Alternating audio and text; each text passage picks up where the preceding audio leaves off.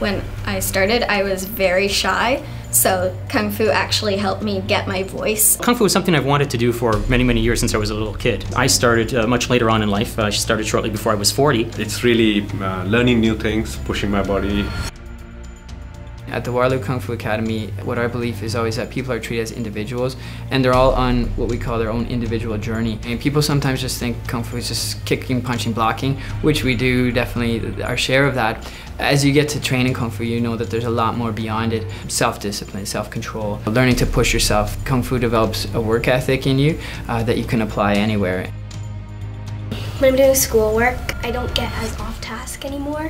When I came to this academy, I was overweight and so when I joined this academy it really helped me to become more fit and that's why I kept coming back to it. Just like the conversations at the uh, at the end of our classes have helped a lot. Over those past six years, how they can connect Kung Fu to your real life.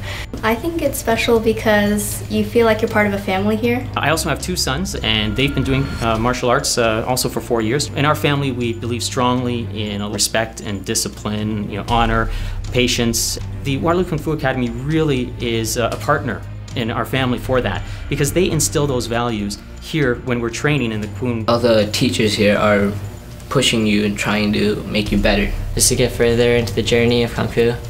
We either work techniques, sparring, self-defense, things that more to train our skill set or that we can practically apply in a real life self-defense situation.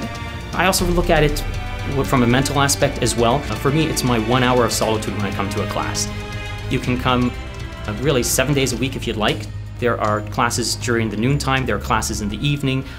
So you can really tailor your own personal schedule for when you want to come out here, how much you want to train. I'm going through it and I've seen my daughters go through it and I know it's it's a great experience and and I can say that without any hesitation.